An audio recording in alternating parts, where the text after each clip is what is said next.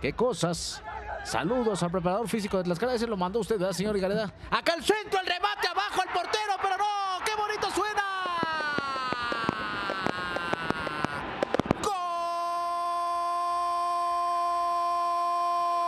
Tantos en un partido lleno de goles aquí en Zacatecas. Mineros 2, Tlaxcala 4. Sí, vemos la, anotación. El que se pierde en la marca es Aldair Molina. Eh,